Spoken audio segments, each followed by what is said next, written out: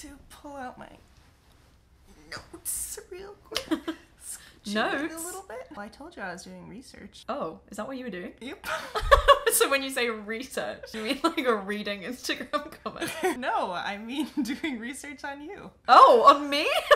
I was watching your vid- video, Zannah, or should I call you blonde girly one two three? Ew! How did you what? Did I mention that in a video? It took like four seconds of googling to find that. Okay, well, I'm sorry. Do you prefer to go by it's Zannah? Shut up. To be fair, I made new channels because those were easy to find. There's no videos on them though, right? Correct. There's no videos, but I did find some pictures. Ew. Ew. On one we have a picture of you. You look a bit like a Scandinavian tween starring in an indie horror flick. Oh my god. I was looking at it. I've seen the photo. Is it? This picture, though, I can't believe you researching me the whole time. And I was just sitting there blissfully unaware. Oh, you Oh. didn't know what I was laughing at, but now you do know. All right, so Was that just the intro? You're not going anywhere with that. You just felt like including it. Ah! okay, so if you don't know, Zannah is great introduction. Thanks. welcome YouTuber and aspiring filmmaker. Mm-hmm. I found Zannah's videos like three years ago, maybe. Immediately when I saw your videos, I was like, wow, she has such an incredible like eye and talent for understanding the structure and the storytelling of what a vlog should be. But you're um not but and and you have such a strength for editing and for storytelling. You have these monthly scrapbooks that you do, which is um, a compilation of all the footage that you've taken. You've probably seen things like them. It is very hard to convince me to watch anything that's longer than five minutes. so Yeah. I'd never seen them before. And the note I have is, dude, these monthly scrapbooks. What the actual fuck? Uh, these beautiful vignettes of your life. They're so intimate and beautiful. I mean this sincerely. You're truly a gifted editor. You're um, telling this story of your life so, so beautifully. I I'm gonna cry. Oh it's so wonderful to see these snapshots of um, these moments with friends compounded with your thoughts on your experience of your life right now. The first one I watched was one where you have this footage of you as a child, and your grandma is like, Hey, Zannah, how are you? Are you happy? I'm gonna cry. I thought I was gonna cry when I was watching it. I just, you're amazing at what you do, and um, Oh my god. yeah. So I have a question for you. Okay. How much of that talent that you have for editing and for story editing do you feel is a natural talent, and how much of that was practice and influence? Hmm. It's probably all practice and influence because nobody just like pops out the womb being an excellent editor. like I've spent most of my teen years watching YouTube and watching like similar things to the things I make now. So I think everybody's work is just like a combination of every other piece of work they've ever seen. So, Can I press you a little bit on that? Sure. A lot of questions I get are from people who are interested in a career in the arts, um, especially even like just with a simple task like guitar. People are like, I always wanted to learn how to play guitar, and you learn so quickly. You're so like gifted at it. Mm-hmm. But I don't feel like I'm gifted at guitar. I think I just put a lot of hours in. Mm-hmm. But some things I do think I have a natural inclination toward. Mm-hmm. Like I think I was inclined toward the idea of editing. I guess my question is are you dismissing some sense of a natural storytelling ability? I don't know. I feel like it's not for me to say. Like, I don't think it's for anyone to say, I have this as a, an innate talent. I can say for a fact that I am naturally good at this thing. I just don't think that that's something you can ever say of yourself. Why? It's also subjective and like deciding for yourself. I don't know. I mean, do what you want. but I, I don't feel comfortable saying that I have a natural talent for something. But if I've like objectively put in the work to get good at something, then that that's like I don't know. I just don't feel like I can say I am good at this thing just because I am. Back to my notes. so um, I asked on Instagram anyone had any subjects they'd like us to talk about. Um, monochrome monarchy I like how well I said that. Maybe being in the public eye when you're quite young and how it affects your daily lives. And I had a specific question for you. I'm not sure if you've noticed this, but you are very blonde. And I had a question along those lines of have you given much thought to how um, standing out as much as you do has shaped or affected your childhood or experience online? My parents were the type of parents that raised me to be like, you're so smart and talented and good at everything. Look at you, amazing, special. And I think looking different from everyone else added to that a lot. I was sort of like, yes, I'm exempt. And like growing up, realizing how not true that is was like a bit rough, but it's kind of like a pressure off as well. Um, to realize that because I think I was like, oh, but what if I don't achieve great success? It'll be all my fault. But uh, now it's sort of like lots of people don't achieve great success. I'll just be one of those, and that's completely fine. There's no special reason for me to have to succeed. Yeah, maybe you are still um, loved and have worth, even if you are not some huge success in some career capacity. Maybe? Question mark? It's Yeah. fine to not be unique. Most people are not unique because unique is used wrong as well. Unique means one of its kind, like just one, and there's nobody is just one of their kind. Hmm, I disagree with that. Really? Yeah. No one else is Zannah. You are the only you. Yeah, you but- are literally unique. But like, there's no way that I have traits that nobody else in the world has. But okay, here's here's how I view the world. You're just a person, like everybody else. And in that way, you are not unique. You are part of this like combined experience. There's nothing special about you. And at the exact same time, you are the only you that has ever and will ever exist. And your unique experience with life thus far is a story that only you have and that you can tap into to provide like a unique experience to the people you interact with. Okay. I would need more time to formulate my argument to respond to that publicly. Okay. okay.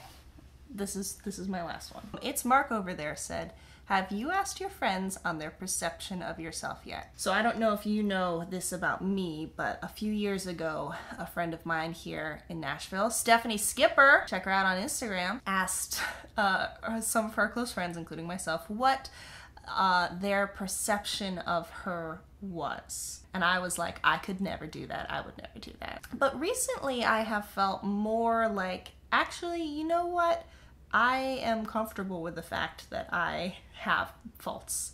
And I am curious to know what they are because they might, in fact, be things that I'm not aware of about myself. Mm. It might be helpful to me to hear them from someone who I know and trust loves me and realize that they can see those faults about me mm. and still love me. How do you feel about all that? Yeah, I feel kind of the same. I feel like we said this in in a video once. Mm. Yeah. Um I have since that video asked a couple of people how they perceive me. I actually with one person was like, "Is there anything that you don't like about me?" cuz like we were friends and it was fun. I like that you go right for the negative. because we were having just like a discussion about like our friendship and stuff and like how things were going and i was like is there anything that you wish that i did differently do i ever like hurt your feelings like is there something i could be doing differently um Damn, girl. And Look at that maturity. Look at it. my How'd friend- it go? he yeah it went pretty well he said that um i often go straight into talking about the negative parts of an experience i've had and it makes him worry that i do that with experiences I've had with him. Like I'm saying to other people, yeah, we went and did this thing and I didn't like it because of this. So I've been working on that and I'm trying to be more positive about stuff. I do think my negativity is my ugliest trait. Girl, you inspire me. I'm gonna do it. do it. Do it, one. Do it. one. Yeah, that's awesome. Good for you. Do you think you're a pessimist? Um, I think I'm very used to things being in like a state of crisis, and like my identity was tied in with like I'm a victim and I've had a hard time my whole life. So I think I'm um prone to look at the negative sides of things. But like in the grand scheme of things, I haven't had that hard of a time. And if I keep telling myself that my life is hard, then it's gonna keep being hard. And I want to give myself a chance to have a nice time. I'm a pessimist, but mm, I'm not proud of it. You're working on it. I'm working on it. Same. I'm a pessimist too. I didn't even realize I, pe- I was a pessimist until this year. Ooh. I was like, no, I'm just a realist. Oh yeah, me. But um, then someone pointed out that, uh, like, do you think you might be a pessimist? And I was like, oh no, no way. But I kept like tossing that around in the old brain chamber. and I was like, oh, yeah, actually, that's completely true about me. Because the, the lie that I believe is that if I can have an expectation that nothing will ever work out, then I'll never be disappointed and I'll always be pleasantly surprised. Mm. But it's not true at all. Mm. I still feel disappointment, mm-hmm. even if I set myself up for it. And um, I don't allow myself to feel like hope fulfilled. Mm-hmm. If I'm never hopeful, mm. it's always just like, oh, cool, instead of being like, wow, I really wanted this and it worked out. Yes, agree with all of that. Would you like to know how I perceive you? Yeah. Go ahead. Positives and negatives. You go for it. Okay. I think that you are an incredibly thoughtful human being. Every time we cross paths, I observe you working through trying to find a better understanding of who you are and your motivations.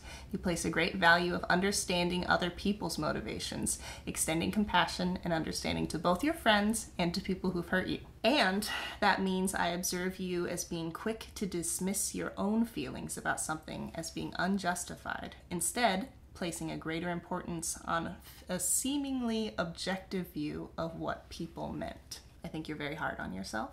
Mm-hmm. I think you wish you had a complete understanding of everything. I wish you would more often extend the same compassion I see you extending to others to yourself, knowing it's okay to be incomplete um, still working through things at every stage of life. Proud of who you are, and I'm grateful to get to be your friend. In the time I've known you, I've really seen you moving from a very dualistic view of I'm either good or bad mm-hmm. into being comfortable with being incomplete, and I think that's really beautiful, and I'm really proud of you. Aww. oh, Tessa. I love you. I love you too.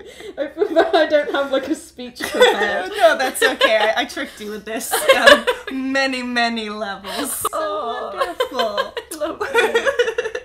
Where can they find you online? Um, or do you want to respond to that in any way? I guess I can let you um, have two cents on that. I guess I kind of yeah, I, I agree with with most of that. I'm deliberately very hard on myself because I think I have a fear that if I stop being hard on myself for a second, I'll slip and become a bad person. So I mean, you know, people are flawed. I try. But yeah. anyway, yeah. Subscribe to Not Just. Subscribe to Not Just Blonde. yes, do! And check out her uh, monthly videos. Don't be like me who hates to watch anything more than five minutes. They're so touching. Is there anything else I need to say? Uh, don't forget to smash that like button. Don't forget to smash. I have a record coming out. I have a single coming out June 15th. It's called mm-hmm. Crush. Mm-hmm. And then a record coming out after that at some point. So get hype, people. Share my videos so that more people will come to my shows. anyway, cool. All right. Bye. Hey, thanks for watching! This episode of Pillow Talk is brought to you by Skillshare, an online learning community for learning about things such as music, filmmaking, photography, and more. So I've been traveling a lot lately and I really want to be taking better pictures, but not something I know a lot about. So a good course for me might be this crash course on iPhone photography, where I can learn how to take stunning photos, optimize my iPhone camera settings, lots of things which I currently know almost nothing about. Alternatively, I might take this course in basic guitar to help me brush up on my basics and learn some new things I know nothing about, like guitar solos? One premium membership gives you access to thousands of courses for $10 a month for an annual subscription. Plus, the first 500 people to sign up using the link in the description get your first two months for free. Thank you so much to Skillshare for sponsoring this Pillow Talk, and I will see you soon.